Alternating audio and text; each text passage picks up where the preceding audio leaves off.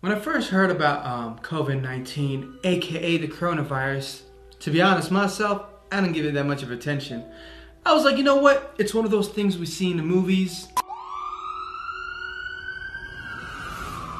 You know, they make TV series about, um, read books about it, but I mean, come on. It's 2020. It's not, I mean, come on, right?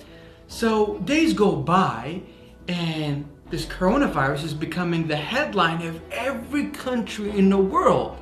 I don't get scared easily, but this thing kind of made me like, hey, you better start watching out. So I called my friends, so I called my family, and it got serious. This is the rooftop of my building. I walk here for a bit, you know, I chill, I start just like thinking about things, and to be honest, how thankful I should be. Um, we complain most of the time about our life being boring and whatnot, but we're so blessed to have roof over our heads, cold and hot showers, food on the table, internet to surf and watch anything that we want.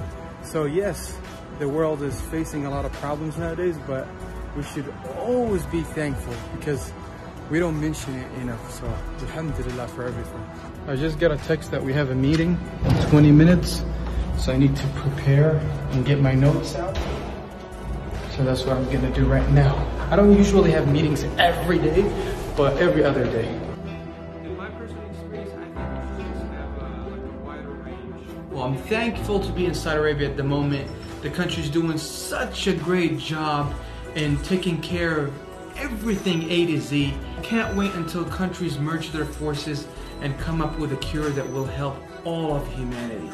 It's because I care about you. I want you to stay home.